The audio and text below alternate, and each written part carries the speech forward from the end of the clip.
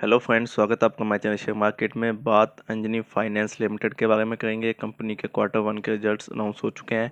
तो चलिए डिटेल में कवर करते हैं। सबसे पहले डिविडेंड की बात करें तो यहाँ कहीं भी डिविडेंड कंपनी ने अनाउंस नहीं किया है। अब चलते हैं डायरेक्ट और सीधा बात करेंगे यहाँ कंपनी के रिज़ल्ट के ऊपर।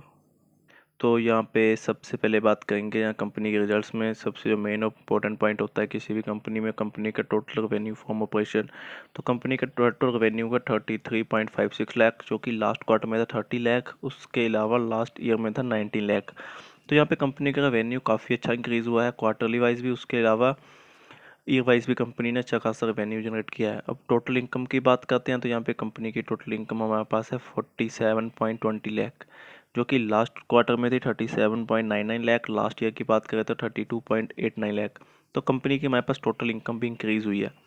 अब चलते हैं नेक्स्ट और बात करते हैं जहाँ पे हमारे पास कंपनी के टोटल एक्सपेंसेस के बारे में कि कंपनी के कितने टोटल एक्सपेंसेस यूज़ हुए हैं तो वो है thirty one lakh last quarter में थे ट्वेंटी लैख लास्ट ईयर में ट्वेंटी फोर लैख तो कंपनी के टोटल एक्सपेंसेस भी इंक्रीज़ हुए हैं, जैसे कि कंपनी का रेवेन्यू इंक्रीज़ हुआ है।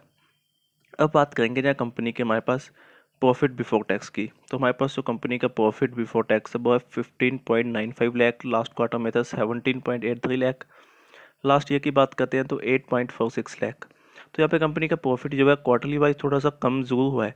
लेकिन अगर बात करें ईयर बेसिस पे कंपनी ने अच्छा खासा प्रॉफिट गेन किया है।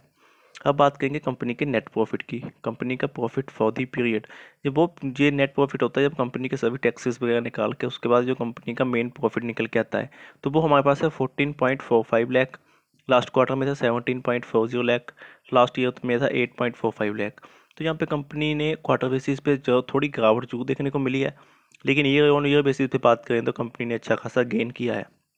अब बात करेंगे कंपनी की अर्निंग पर शेयर की तो फोर्टीन पैसे लास्ट क्वार्टर में सेवनटीन पैसे थी, लास्ट ईयर की बात करें तो एट पैसे। तो यहाँ पे भी कंपनी की अर्निंग पर शेयर भी ईयर ऑन ईयर बेसिस पे काफ़ी इंक्रीज़ हुई है। हालाँकि यहाँ पे क्वार्टरली बेसिस पे थोड़ी सी कम ज़रूर हुई है।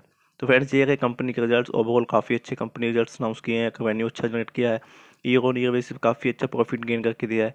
बाकी फ्रेंड्स आपको रिजल्ट्स कैसे लगे प्लीज़ कमेंट करके बताइए।